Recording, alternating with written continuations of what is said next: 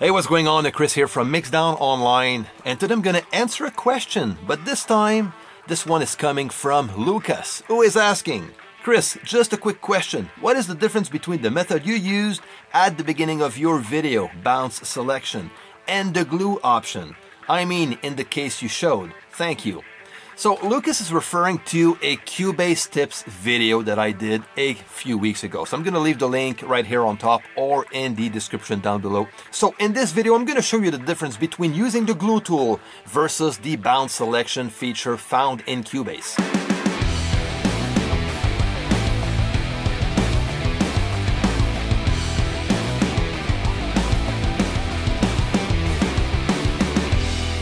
Now, if you're new here on the channel, subscribe to the channel, click the notification bell so you don't miss anything. And for all of you, share and like this video.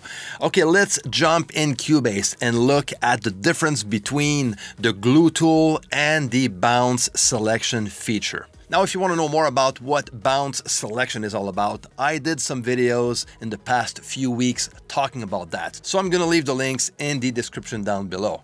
So what we have here are one track with several audio events.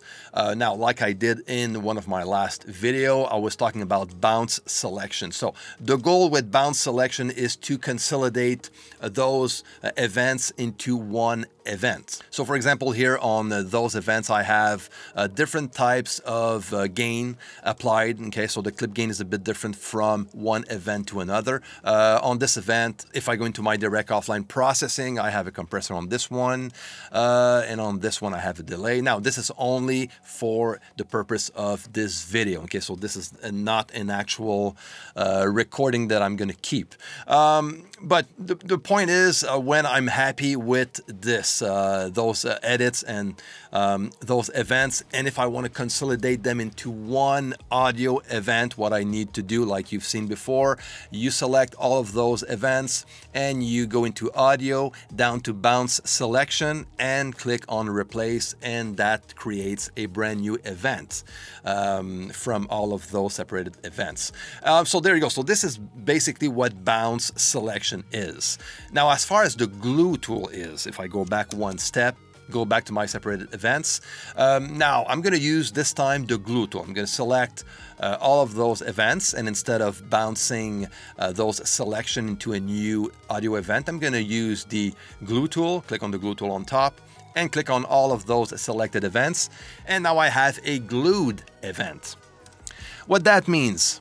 Uh, it means that I have the advantage of copy pasting that event if I want to. If I want to loop that, I can actually um, I can just split that glued event into several other events and copy those over if I want to. Okay, so this is the type of thing I can do. Um, it keeps my track in order, you know, so I don't have like a bunch of events all around the place. Um, so this is the advantage of using the glue tool if needed. It's not something that I use all the time, but it is quite useful in some situations. But in the other hand, I don't have access to a fade in and fade out.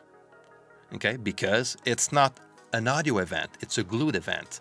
I can't reduce or increase my gain by using the clip gain because it's not an audio event it's a glued event.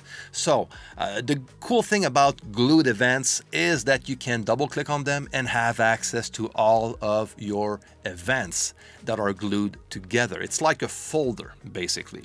So you open the folder and you get access to your uh, separate uh, separated events. So you can tweak around with them. If uh, for example you hear a glitch between uh, by listening to that event, you can go back and make sure you have some crossfades uh, applied uh, between those events. If you want to just tweak around with the gain of that one event, you can do so. And look, uh, it's going to show directly on the main glued event on top.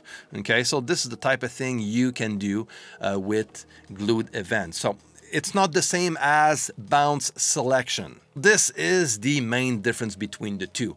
You glue a bunch of events together, you're always going to get access to those events within that glued event.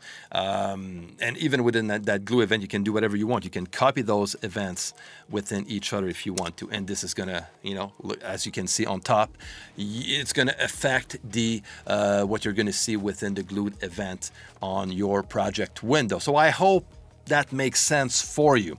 Uh, so there you go. So this is the main difference between the glue tool and the bounce selection feature for audio events.